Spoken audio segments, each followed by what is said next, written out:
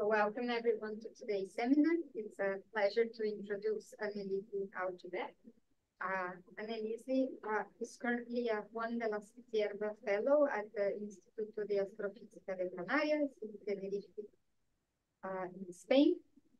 Uh, she was an undergrad uh, student and master student here uh, at uh, URGS.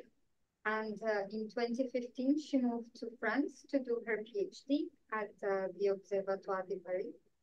And her thesis title was a multi-wavelength analysis of nearby active galaxies, probing the AGN feeding and feedback. Uh, she uses ALMA high-resolution observ observations of a sample of nearby AGN as part of the of the NUGA collaboration. Then she moved on moved on to Athens uh, in Greece, uh, where she did her first postdoc and started uh, working uh, on the evolution of uh, the molecular gas content uh, in radio galaxies. So thank you very much, Annie, for accepting our invitation. You may start when you're ready. The floor is yours.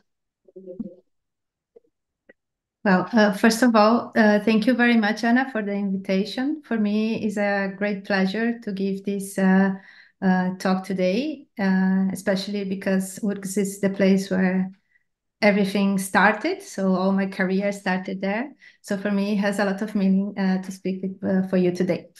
So today I'm going to talk about the QSO Feed project that is a multi-wavelength view of AGN feedback impact on the central kiloparsec of galaxies.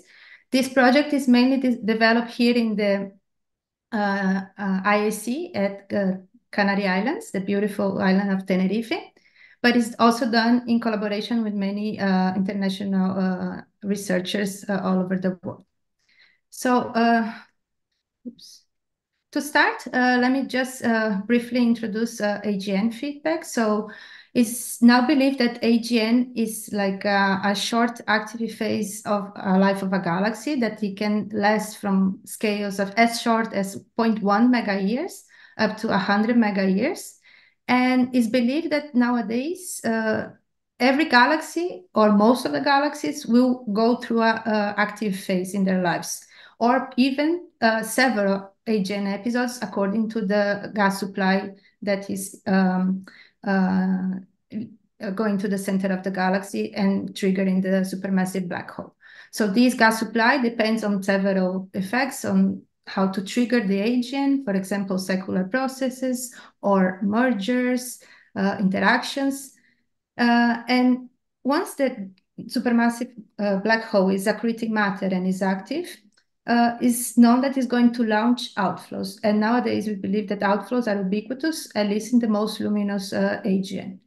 These outflows are manifested through different scales. So here I show this review by uh, Claudia Cicone in 2018, where uh, she showed the different scales happen, uh, that we can measure outflows. For example, at less than one parsec scales in the accretion disk, where we can see this launch of uh, broad absorption lines outflows or uh, ultra-fast outflows, mostly traced in the X-rays or the UV. And then if we move to parse, uh, more than parsecs at two kiloparsec scales, where the outflows are uh, acting in the interstellar, interstellar medium of the galaxy and uh, therefore affecting the gas content and the star formation of the galaxies. And also AGN feedback is also manifested through these very large scales of more than 10 kiloparsec scales that is happening in galaxy clusters through these uh, uh, huge radio uh, jets, the lobes of radio jets.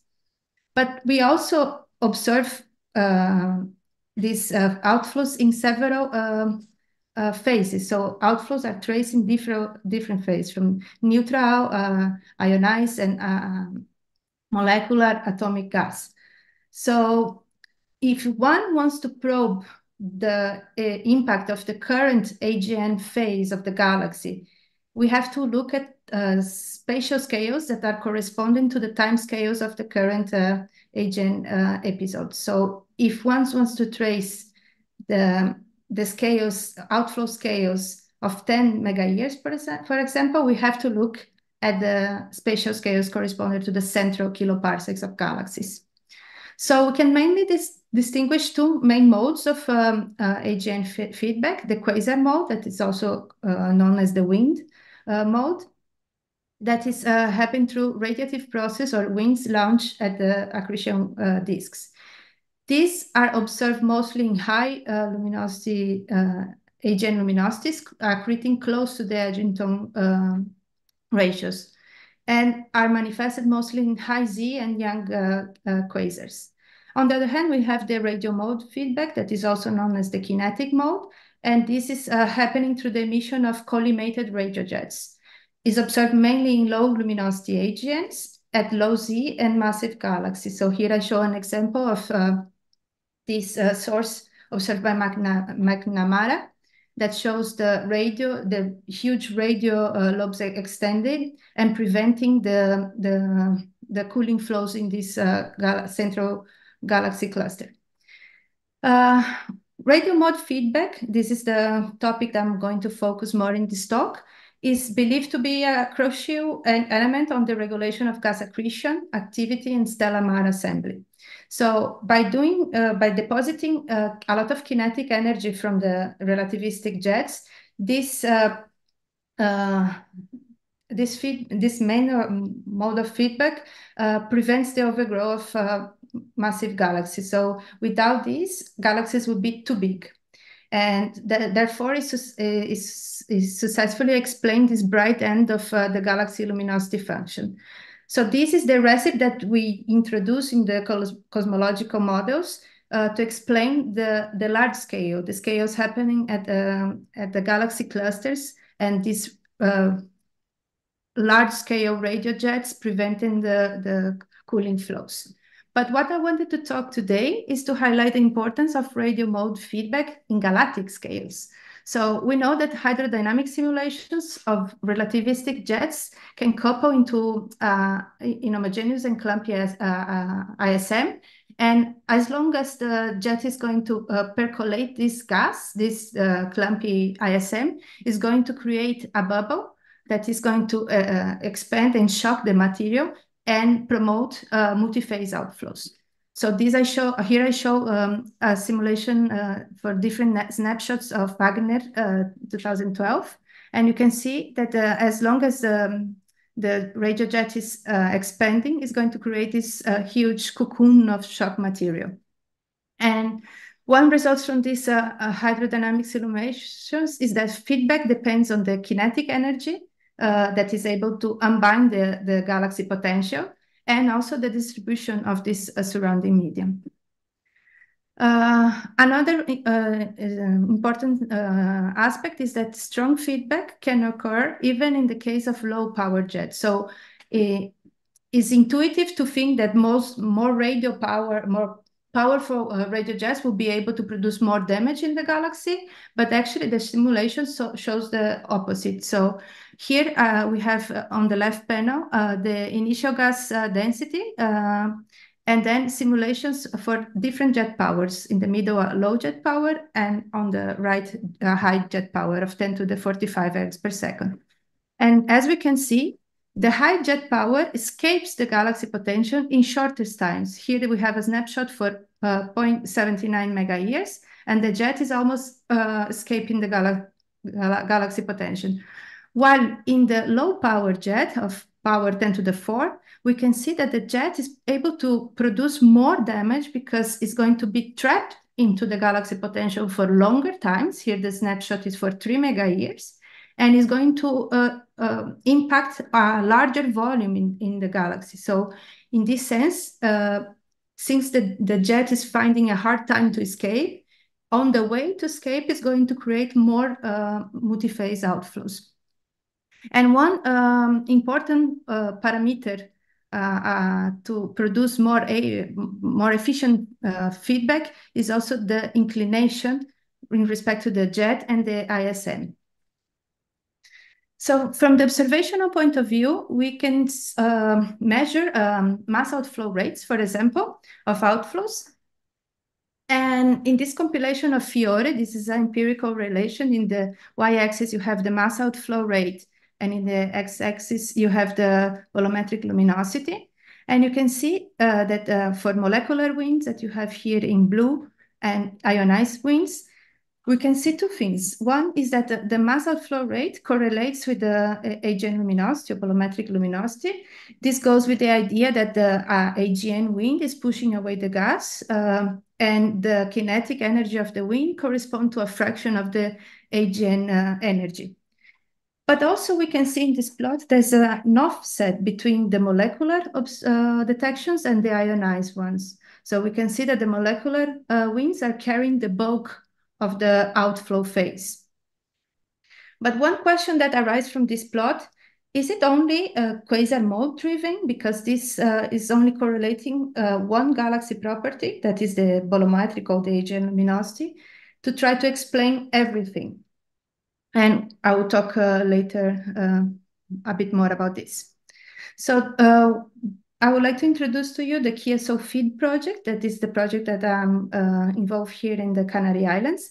So this is an effort to assess the impact of quasar-driven outflows on galaxy properties with the same dynamical time scale. So that's why I mentioned in the beginning. So we are looking here at um, uh, spatial scales of central kiloparsecs of galaxies because we know that this corresponds more or less to the active phase uh, of these quasars. So this um, QSO FEED is a sample of um, obscure QSOs, so type 2 QSOs, uh, with bolometric luminosities uh, above 10 to the 46. So according to this uh, relation that I showed in the previous plot, these are supposed to host very powerful outflows. They are all uh, luminous infrared galaxies with different morphologies and environments. We select uh, objects uh, at redshift around one. So this uh, in this way, we are able to perform resolves to uh, studies, uh, reaching a, a few hundred of parsec scales in these galaxies. And one thing that is a characteristic of the sample is that they are all radio quiet galaxies in the sense that they are not radio loud uh, AGN, but they all have a, a, radio excess. So they are radio quiet, but not radio silent. Say, so they have an excess um, uh, so if you plot the radio radioluminosities, again, the far infrared luminosities, they, they lie uh, well above this uh, correlation that is supposed to be the correlation between the radio and the from star forming uh, regions. So we believe that these galaxies uh, could have jets and winds that can drive uh, ionized and molecular outflows. So the parent sample consisted of a catalog of narrow line uh, uh, quasars from Reyes uh, in 2008.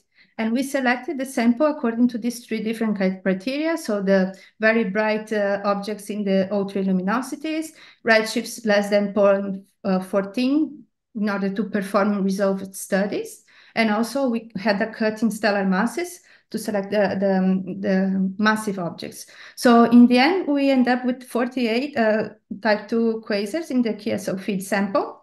And this is a number that allows us to perform some kind of significant statistical uh, studies. Uh, the QSO FEED team is uh, shown here in this uh, picture. And also, if you want to know more about it, you can check in this website. And the team consists in Cristina Ramos Almeida, this is the team leader, Uh, Patricia Bessiere, that is another postdoc in our group, uh, as long as um, Donaji Esparza Arredondo, another postdoc. Giovanna Speranza is an Italian student, PhD student that is, she's about to finish now the PhD and she's looking for jobs. So if you are interested, please enter in contact either with me or with her. Pedro Enrique Cesar, that uh, she, he was at a, a, undergrad student at URGS as well. So now he's part of our team. And Jose Acosta Pulido. So the goal of our team is to characterize AGN feedback in type 2 QSOs using a multi-wavelength approach in order to trace the impact of outflows in the multi-phase gas. So to do this, this is an enormous uh, effort from the observational point of view. We have collected observations from different telescopes all over the world. So we have uh, long slit spectroscopy from um, SDSS from all, for all the sources uh, also from uh, the majority of the sources using the GTC uh, EMIR telescope here in the Canary Islands in La Palma. We also have um, IFU observations, that this is the, the what the project wants to, to focus on IFU observations and with high resolution. So uh, these uh, objects have uh, 12, uh, 12 of them observed with Megara, that is in the optical. Uh, 16 QSOs will be observed with the Keck in, in Hawaii. Seven of them were observed with uh, ALMA in, in Chile. And uh, some of them have observations also with Gemini and SINFONI in the near infrared. And now we recently uh, were um, were awarded time with James uh, James Webb uh, Space Telescope in cycle two. So we will have uh, five more uh, ob objects observed uh, in the mid infrared. So let me start with the cold molecular gas part. So this is a multi-wavelength um, project, but I will start with my favorite phase, that is the, the molecular gas. So in this uh, article uh, in, in 2022, led by Cristina, that uh, is the group uh, boss, she we observe um, ALMA CO221 observations in a sample of seven uh, uh, type 2 quasars at 0.2 arcsecond resolution. This roughly corresponds to 400 parsec, galaxy, parsec in this galaxy set. Uh, so here I show some uh, some images, co uh, composed images of the SDSS uh, to show the different morphologies that the, the sample has. So we have some uh, interacting, merging, spiral systems, and some uh, early type. The first result from this work is that the early type galaxies were not detected in, in CO. But for the other five, we have, he, I show here in the color code the CO221 intensities, uh, and in contours is the 1.3 uh, millimeter continuum. So we can see that the CO morphologies are quite uh, diverse. So we, al we, also see the spiral arms uh, um, in two of them. One is this giant messy blob of highly concentrated gas, and two of them have this kind of double peak morphology, and when we try to compute the masses of this, uh, of this, uh, the molecular masses of these galaxies, we separate them according also to the morphological type. So here in, in blue, uh, we have the, the interacting systems. In yellow, we have the uh, spiral systems. And in, in, in um, orange, we have the the early type ones. So we can see that the early types were not detected, so they consist only in uh, upper limits. The the interacting systems have higher uh, uh, cold, cold gas masses, and the spirals also present a very high amount of, uh, of molecular gas. So to compare with samples of uh, inactive galaxies uh, according to the morph morphological time from the cold gas survey, for example. So the, the blue ones are the spirals and the early type in purple, for example. These QSOs have a bit more, uh, the ones that were detected show uh, higher values of, um, of molecular uh, masses. And these would be in between of uh, main sequence galaxies and uh, ULIRGs, for example, that would lie for example, here in the top right part of the, the plot. So we believe that this um, uh, different kind of uh, uh molecular masses detected uh, depend also in the in the morphology and radio power of these uh, galaxies. And as I mentioned before, these are very high luminosity AGNs, and we were expecting to detect very uh, broad outflows, very fast outflows in the molecular gas. So according to this uh, empirical relation, we would see these quasars lying down here at the top uh, of this, re this relation. But when we were looking at the data, we didn't see these powerful outflows. Actually, they, they show mm, velocities that are quite mild. We were expecting to detect these broad wings and we had to kind of perform a, a, a, a modeling to try to uh, derive in a consistent way the velocities and the mass outflow rates. And these quasars that we detect uh, molecular outflows, they lie well below the empirical relations observed by Fiore. So they, sh they share properties intermediate between uh, Seyfert and ULIRGs. So we believe that AGN luminosity is not the only factor driving these outflows. Maybe there are other elements playing an important role, for example, the jet power or how these winds or jets are coupled with the, the disks. Uh, and in, in this paper, we suggested two scenarios to explain um, the the efficient of driving outflows in this case. So scenario scenario A is the strong coupling. So you have the CO disk and the winds or the jets are coplanar, so are able to launch more powerful outflows. Or on the other hand, in scenario B, you have an angle between the two, and then therefore this uh, will lead to a very mild uh, uh, uh, wind. So when we were observing this molecular gas um, uh, from with ALMA in, in the Cristina's paper, we saw the case of one galaxy that was really interesting, that is the Teacup AGN. So let me introduce, because this is nowadays my favorite uh, object. So Teacup, uh, the name stands for this um, uh, the shape of the large uh, scale uh, spending bubbles in the ionized and the radio um, observations that resembles the handle of a teacup. Therefore, it, it gets uh, the, the, name. So the center also hosts a compact radio jet of uh, kiloparsec scale that uh, is shown here in, in white contours. It's believed that in the center, this radiojet could be the potential driver of a nuclear outflow detected in the ionized gas traced by the O3 line. But also the O3 line uh, is seen to have um, an outflow detected much uh, extended, reaching kilo, uh, 30 kiloparsec scales, observed with MUSE by Venturi uh, recently, like the paper was out last month. And here I present the CO uh, 221 and 322 observations. So the 221 were already presented in Cristina's paper, and the 322 uh, were available in the archive.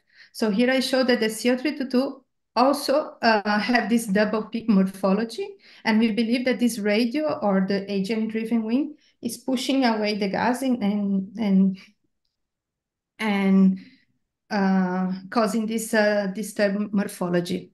So already in Ramos Almeida 2022, when we were modeling this uh, galaxy, we saw that uh, here is the data of the velocity field, the model, and the residuals. And we see that there's an enhance of residuals along this preferential direction. So I try to model with Barolo, uh, 3D Barolo, that is a code to allow us to, to, to use the full data cube to, to derive the rotation curves. And when I, we, uh, I was um, modeling this with Barolo, as you can see here in the video for the data and the model, the model fails to reproduce rotation in this galaxy. Uh, actually, Barolo can only reproduce 50% uh, of the flux observed as rotation. All the rest is impossible. And also, the model fails to explain the high velocities, uh, as shown here in some of the channel maps. So here, the model is not able to reproduce the, the high velocity ends. So to analyze a bit further the kinematics of this uh, galaxy, we decided to uh, produce pseudo slides, but not the typical way along that are usually along the major and minor axes of the galaxy, but we place these slices along the jet and perpendicular to it to produce position velocity diagrams. So here are the PV plots. So this is the position and velocity along the jet axis and perpendicular to the jet axis. And as we can see, we can, uh, this observation show a very sharp gradient of velocities reaching up to 400 kilometers per second, but not, al not along uh, the jet axis only, but also perpendicular to it. And the rotation can this, uh, that we model with Barolo can reach values up the most of 300 kilometers per second. So we believe that these high velocities are part of an outflow. Uh, do you remember that I showed that the residues uh, were in, in a preferential di direction? So when we look at the CO221 uh, velocity dispersion, we also see that the, the, the dispersion is enhanced in this direction perpendicular to the radio jet. So here I show the central CO2 to 1 dispersion And this phenomenon is also observed in another gas phases, uh, for example, in the O3 gas in the same object, teacup, using uh, the GTC Megara observations and also with MUSE, you can see in color code here also an enhancement in this direction that is perpendicular to the compact nu uh, nuclear uh, jet.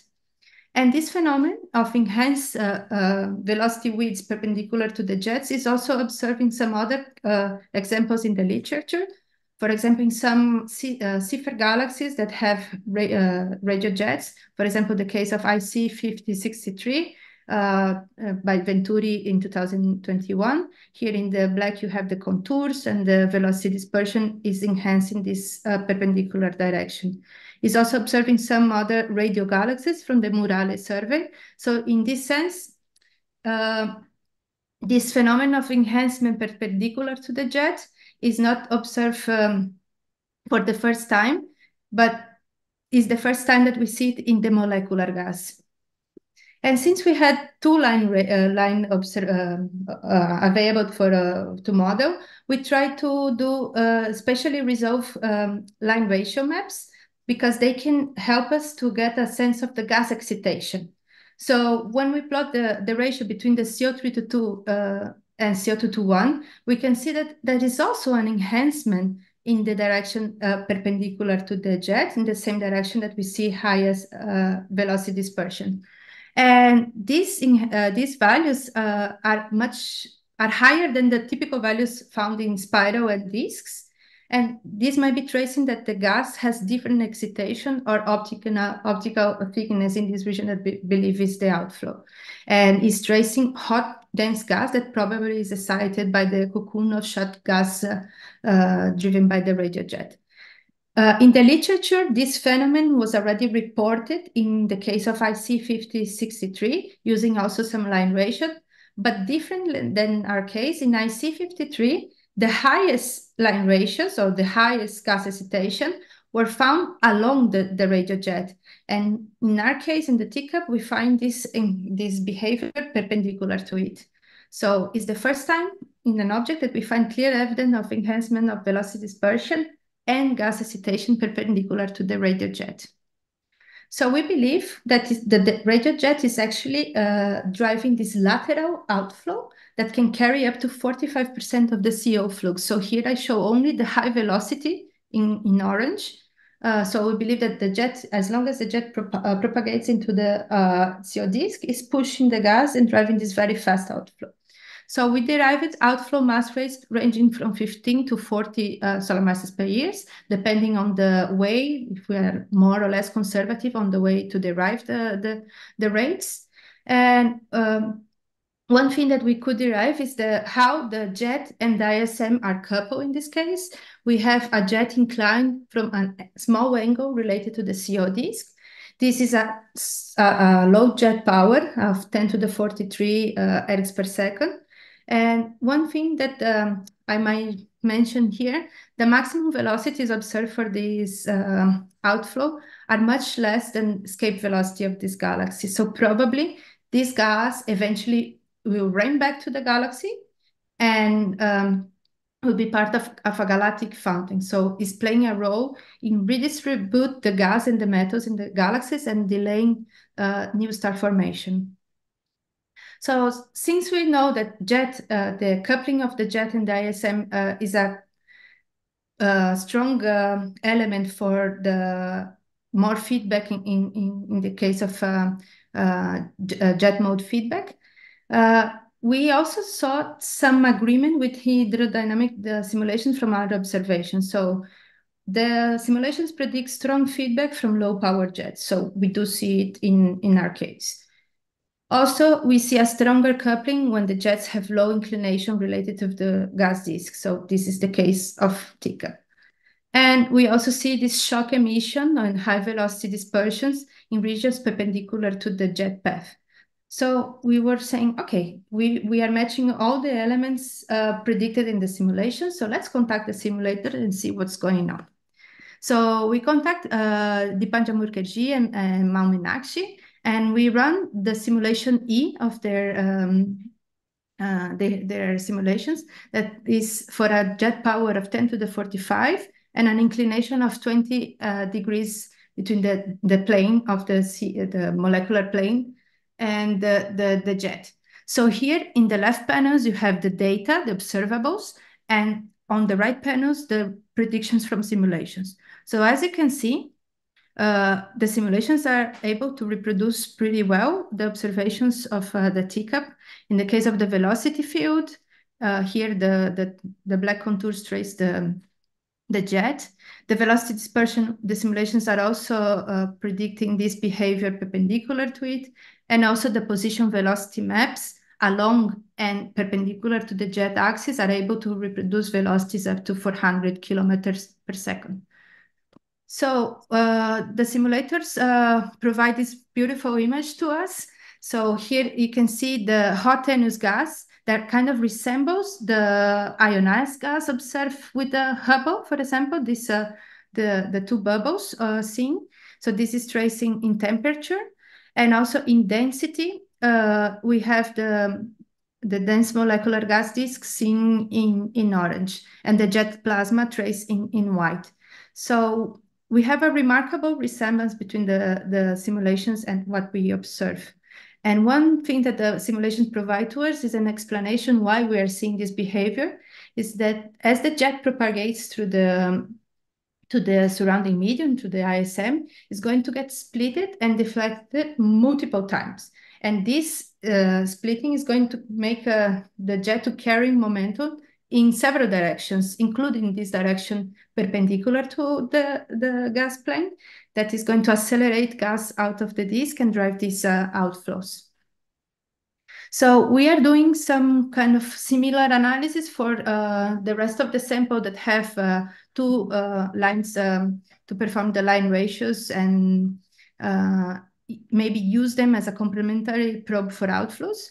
But so far, we didn't find any uh, evident trend as in the case of teacup mainly because this system is mostly well described by rotation. And now we are uh, computing some outflow versus AGN and host uh, galaxy properties. So stay tuned because uh, we are cooking now the paper and will be released soon. So now I'm going to talk about the ionized gas phase. Uh, so this is uh, one case that was uh, J0945 that was observed with by um, with Gemini NIFS in the K-band. So this work was done by Giovanna Speranza, the PhD student in our group. So these observations cover a field of view of three uh, arc seconds. This roughly corresponds to seven kiloparsecs in these galaxies, uh, from uh, 1.9 to 2.4 uh, microns. And it had an extremely good seeing of 0.3 arc seconds. So this is one of the few QSOs that it was studied in the near infrared regime. And when Giovanna performed the analysis of the Paschen alpha, um, so here she did a, a parametric analysis fitting uh, multiple uh, Gaussian components of the Paschen alpha line. So she was able to uh, also uh, produce the resolve maps of the narrow as the, the yellow component here fitted and the the, the green components that are in the intermediate components. So as you can see here, the narrow component is mainly tracing the rotation in this galaxy. So the velocities are, uh, are small and you have this blue and red shift pattern from rotation. But if you map the intermediate component, there's a nexus of negative velocities here in this direction. As if you look uh, a bit better uh, with the full width half maximum, you see that this region corresponds also to have a very large full width of more than a, hundred, uh, a thousand uh, kilometers per second. So this is uh, probably tracing an, an, outflow. And if you map only the high velocity components of the nuclear spectrum, here you have uh, the image from minus 300 to, uh, from minus 700 to minus 300 and overlay uh, in black with the radio contours. Uh, so Giovanna computed the outflow properties for this galaxy. So the, this outflow is extending up to a radius of uh, 3.4 kiloparsecs. It has a very uh, high uh, mass outflow rate of 50 uh, solar masses per year. And it seems to be co-spatial with the innermost part of the, the radio jet. So when Giovanna tried to plot in the correlation of Fiore, this agrees uh, pretty much uh, well with the relation seen in the in the black points. And in this case, we believe that maybe uh, we have both the action of a quasar and the jet driving this outflow. That's why you are having this very high uh, mass outflow rates in, in J0945. She also looked at uh, the multi-phase AGN winds in five QSO2s in the sample that were observed with the GTC Megara uh, here in La Palma, covering a field of view of uh, 20 kiloparsecs. And this, the observations were seeing limit of uh, 1.1 arc seconds. And Giovanna was doing uh, analysis of the O3, uh, O3 line, doing parametric and non-parametric analysis. And she found broad components of uh, full width half maximum uh, larger than uh, 100, 1,300 kilometers per second blue, uh, that are tracing blue shifted outflows in all the objects in the sample. So here uh, I showed the O3 images of these um, five uh, quasars, and they correspond to the same quasars that were observed with ALMA. So in the bottom panels, you have the ALMA observations. And just to compare, like the ALMA field of view is plotted in magenta uh, for for the for the galaxies, just to know that they are tracing different kind, different regions in the galaxy. So Giovanna also comp uh, computed the ionized outflow properties. So she used a robust method to derive the electron densities because uh, one of the problems in deriving the masses from ionized gas is to have accurate measurements of the uh, electron density. So she used uh, uh, the sulfur 2 lines and also the trans-auroral lines. And you can see that uh, these play a major role in deriving the, the masses. And the difference can have a factor of a few orders of magnitude.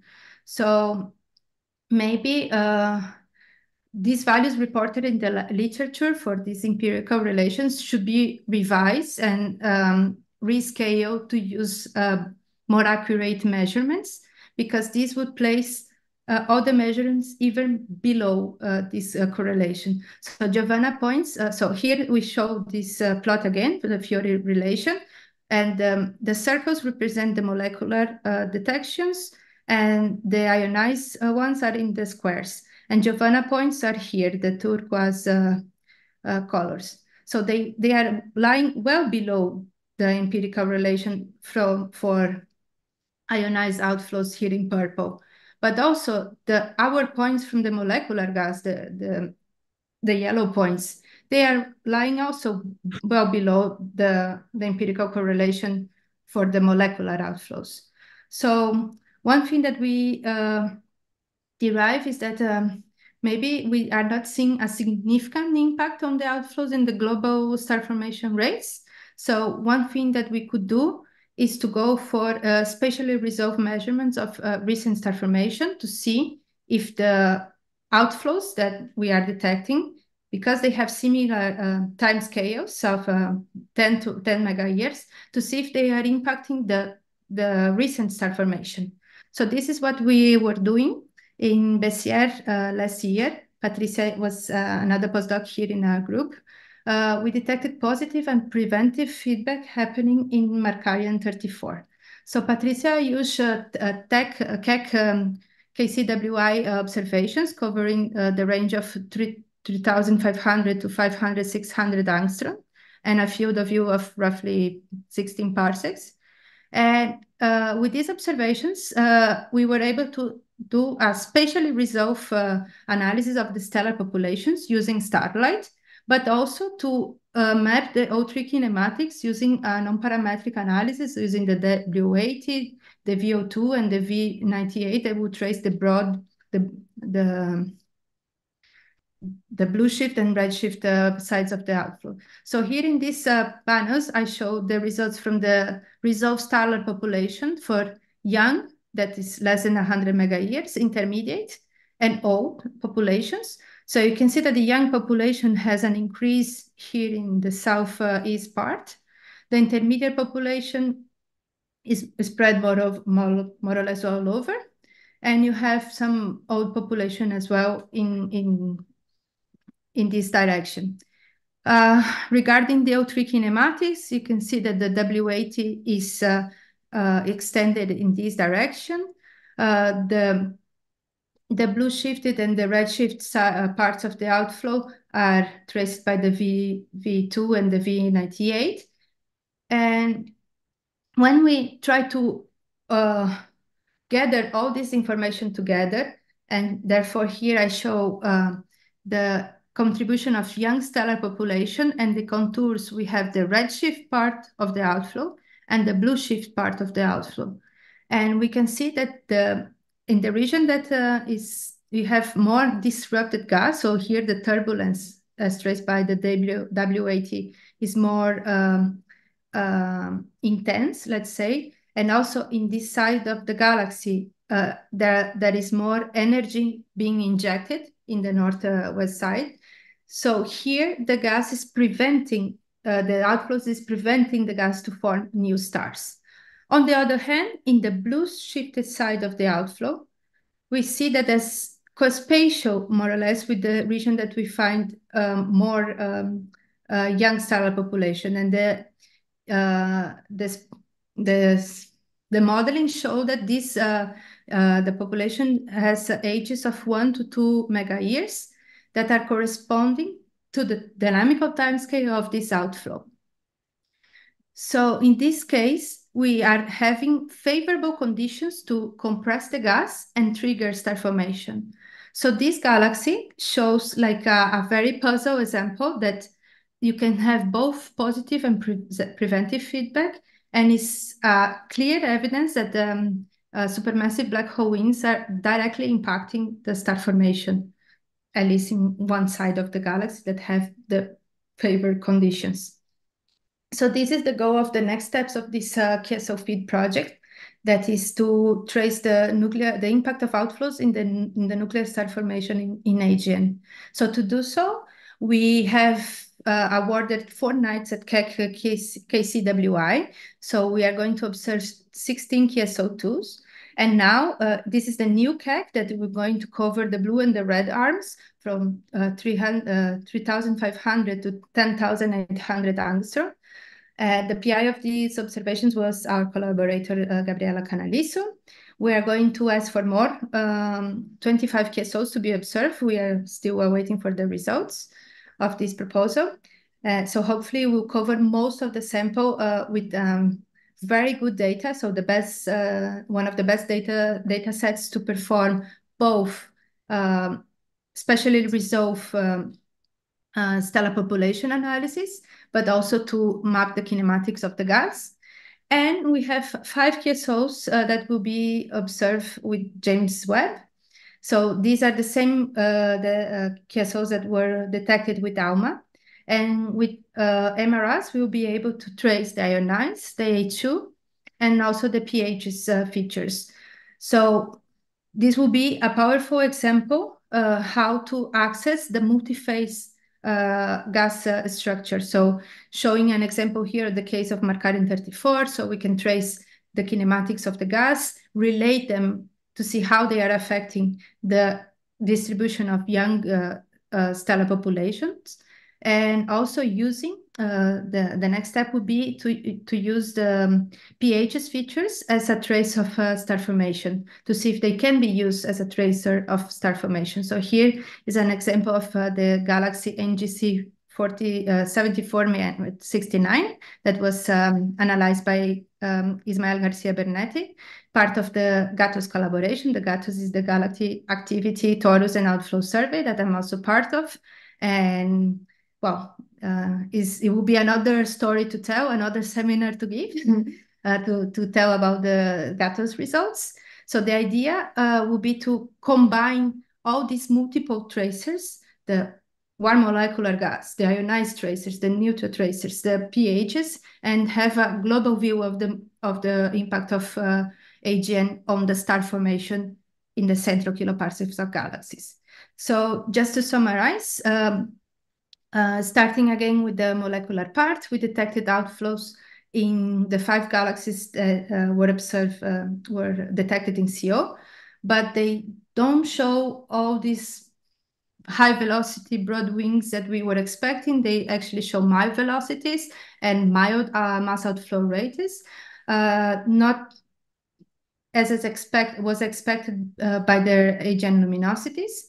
One of them show a very particular behavior, that is the case of teacup, and is the first time we found evidence of enhancement of velocity dispersion, but also in gas excitation, uh, perpendicular to the, the radio jet. And this is a clear case that the jets are perturbing the kinematics and the physical conditions of the gas in this galaxy. So in J0945, we use um, uh, near infrared observations to trace the ionized uh, outflows. And in this case, we believe uh, that the powerful, the massive uh, outflow that we detect is probably due to the combined, the synergy between the quasar and the jet-driven um, uh, modes. Uh, in another case that we try to analyze the multi-phase um, aspect of the um, of the outflows using uh, Megara observations uh, that Giovanna performed, uh, we we showed that uh, we need accurate measurements of the electron density. So maybe all these empirical re scaling relations should be revised and reviewed to perform uh, to use the best tracers. And maybe we are going to have even like milder um, mm, mass outflow rates in this in these uh, relations. And in the case of Markarian 34, we could probe the direct impact of supermassive uh, black hole uh, winds in the current, uh, in the recent star formation. Uh, and it shows both positive and pre preventive feedback caught in action. So my takeaway message would be that um, we are, even though that we are not detecting AGN feedback as replenishing all the total molecular gas in these galaxies and quenching the global star formation. We don't see this effect because we are detecting lots of molecular gas and uh, but we find uh, clear evidence that the AGN feedback through radio jets or winds are disturbing the morphology, the kinematics, and the star formation in the central kiloparsecs of these gas reservoirs. So stay tuned because with James Webb and uh, Keck observations, we'll have much more uh, exciting results to show to you. Thanks a lot for your attention, and I'm happy to answer all the questions. Thank you, Annie. Do we have questions from the audience? And from Zoom, we have Thaisa. Well, mm. Hey, Anelise, how are you? Hi, Thaisa. Pode falar em português. Ah, podemos falar em português. Sim. Tudo bom, Annelise? Tudo bem contigo, Thaisa? Onde tu anda agora? Tu anda em La Palma? Sim, não, estou em Tenerife, em Tenerife. Tenerife, você me atrapalha qual é a ilha, tá? tá bem legal os resultados, é um pouco parecido com o que a gente fez, está fazendo com o Bruno até, e com o, o Gabriel Royer um pouco. E, e daí eu tenho uma pergunta, né? Uh, no caso do Teacup, tu deu uma massa outflow rate de 15 a 40 massas solares por ano. Para mim não ficou claro se esse massa outflow rate foi calculado ao longo do jato rádio ou perpendicularmente ao jato rádio. E também, assim, porque tem o feedback, eu vejo essa. Nós também já vimos um aumento da dispersão de velocidade perpendicular ao jato, ou ao mesmo outflow que a gente vê em gás ionizado, né? E, e, isso, claro que dá um feedback, né? Mas as pessoas, em geral, não calculam esses mass outflow rates perpendicularmente. Então, eu, eu não ficou claro para mim se esses 15 a 40 massas solares por ano é perpendicular ou é ao longo do jato rádio.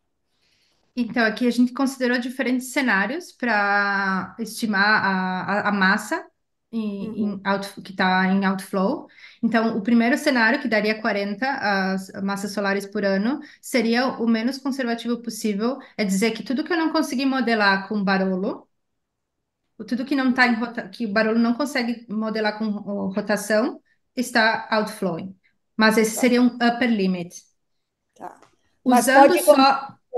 Tanto ao longo como perpendicular? Sim, nesse caso, sim. Mas a gente vê que tem mais resíduos ao longo dessa direção perpendicular. Então, Não. outro método que a gente usou foi só usando o fluxo que vem da componente de alta velocidade. Usando esse fluxo, que, que seria, que acho que eu mostrei aqui, deixa eu, ah, essa imagem aqui, a imagem do meio. Se eu calcular o fluxo só da componente uh, uh, de velocidades maiores, acima de 300 km por segundo, aí eu tenho uma outflow rate de 20 e pouco. E o mais. Isso é, isso é perpendicular ao jato rádio. Isso vai esse é perpendicular. Porque a, a componente de altas velocidades está só perpendicular. No TICA. Uhum. Mas as outras galáxias que a gente está analisando no gás molecular não tem esses outflows tão, no, tão visíveis assim. São outflows mais uh, mild, né? moderados. Sim, que, que então esses outflows vocês consideram a parte que não é moderada, modelada pelo barulho, né? Sim. É isso. Depende, porque a gente usou cenários diferentes, métodos diferentes para calcular. Então, um método seria esse do barulho. O outro método é usando só as componentes de alta velocidade. O outro método, bom, é um método um pouco mais avançado, mais robusto, que daí é um pouco mais conservativo, uh, conservador, agora já nem sei mais falar. Conservador. Então depende, depende como a gente estima, porque também na literatura é, é muito degenerado como as pessoas estimam essas é. mass outflow rates. E eu acho que aqui nesse plot né, das uh, empirical relations do, do Fiore, não, onde que tá? Onde da Giovanna? Esse aqui. Se a gente uhum. começar a popular esses aqui com as medidas do IGN-NIFS, provavelmente uhum. também vai sair embaixo, porque eu lembro que vocês também detectam uh, valores muito abaixo Sim. dessas outras galáxias. É, nós temos encontrado isso aí também. É. Mas porque é que essas galáxias são extremamente enviesadas? São galáxias que já sab se sabiam que tinham outflows potentes, pelo menos em em gás molecular, essas são as galáxias mais extremas. As galáxias que são riquíssimas em gás, que tem um monte de starburst. Então, são galáxias que já se esperava ter, terem outflows. E agora que a gente está começando a observar amostras um pouco menos enviesadas, está começando a popular. Então, tem esses pontinhos cinza aqui, que são da Isabela Lamperti, que também estão mostrando uh, valores uh, da mass outflow rate bem mais abaixo dessa relação. Então, eu acho que a gente tem que começar a popular esse diagrama, porque ele foi. Um, ele foi. Uh, uh, as pessoas, eh, o Fiore desenvolveu isso, mas é usado só nos casos mais extremos. E isso, de repente, não é representativo da população de AGN. E também o problema desse plot é que as simulações estão tentando reproduzir esses resultados. Mas esses são os casos extremos e não, não estamos mais detectando casos extremos assim. Pelo Sim. contrário. Então, as simulações também estão tentando se ajustar a essas relações empíricas que, na verdade, não são representativas da população de agentes. É, foi bem interessante uma vez. Eu encontrei o Fiore numa conferência no ano passado. E eu disse: Puxa vida, eu uso muito a tua relação. Eu disse: Pá, Todo mundo usa a minha relação. Eu só peguei lá um monte de dado de, de gás molecular e fiz umas contas, assumi uma densidade, assumi um monte de coisa e todo mundo está usando. Então, Sim, é porque é no, né? ele usou, tipo, por exemplo, a densidade de, uh, do elétron 200 uh, por centímetro é. cúbico. Então, essa relação aqui, essa linha, é usando, é, mas não é para toda a galáxia, e provavelmente não, o outflow vai ter uma tá densidade diferente. Altas, né? é, claro, claro. Acho que seria legal a gente combinar tudo é, é. e mostrar que esse gráfico, essas relações estão enviesadas e que a gente tem é. muito mais provas né, de, de feedback moderados. Né? É, é verdade. É. Ele mesmo disse que não, não era para confiar na relação dele. Foi muito engraçado quando eu falei com ele. Tá bom, obrigada, Nilce. Bem legal. Obrigada. Mais perguntas daqui? Laura. Lara, desculpa. A minha gente chegou a calcular a eficiência do outflow para essa galáxia? Uh, desculpa, não entendi. A receita? A eficiência. Ah, a eficiência. Sim. Uh, Chega a, parte... Sim, acho que no paper da Giovanna a gente uh, mostra as eficiências. Com certeza, no paper da TICAP, eu comparo a eficiência em relação à kinetic power, não? Uh, do, do, do outflow molecular com o, o jet power para ver se o, o, jato poderia ser uh, estar teria condições energéticas suficientes para drive, olha, já não sei mais falar em português, para lançar esses out, outflows. E sim, a, precisa de uma eficiência baixíssima, não, é, é muito provável que o, o jato possa, possa fazer isso. Então, eram eficiências de menos de 1%. Gabriel, vem mais tarde. Se tiver mais Oi, eu uh, só queria fazer uma pergunta assim bem rápida assim, se vocês uh, por acaso pretendem uh, estender esse trabalho para quasares tipo 1 também, porque eu acho bem bem interessante. Eu acho bem, achei bem interessante assim o estudo assim resolvido com em vários começos de onda assim dos quasares tipo 2 assim, porque revela bastante coisa das estruturas, né, internas deles e eu queria saber se vocês pretendem fazer isso para 1 também. Para tipo 1 complica a nossa vida, porque para fazer a população estelar em tipo 1 uh, é muito complicado de remover a contribuição do AGN no contínuo, então tu pode estar tá induzindo falsos resultados. Então, por isso que no momento a gente está focando só em tipo 2 e tentar uh, encontrar o maior significado estatístico, porque por enquanto o projeto começou há poucos anos. Então, a gente está começando a extrair informações de objetos individuais tentando aumentar a amostra, então, tipo, essas análises estão sendo feitas para amostras pequenas, de 5, 6, 7 objetos. Então, a ideia é tentar, tentar extrair o máximo que a gente conseguir, usando essa maior parte da, da amostra com observações em alta resolução angular, para fazer essa comparação da como o, os outflows impactam a formação estelar recente. Mas o problema de ir para tipo 1 é que fazer uh, população estelar vai ser muito, muito difícil. Então, por enquanto, não. Obrigado. Nada. Mais perguntas? Se não, vamos agradecer a Anne de novo. Estava muito legal o seminário. Obrigada, fiquei um pouco nervosa. Imagina.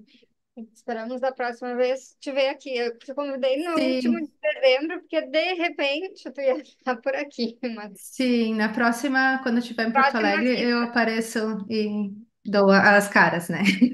tá bom. Abraço. Isso mesmo, Annelise. Vem, vem nos visitar. Sim, vou sim. Tá. Obrigada, gente. Obrigada, foi um prazer. Ah, Tchau, tchau. Obrigada. Tchau. tchau, tchau. Ai, que pena. Agradecer por estar falando, a gente não pode.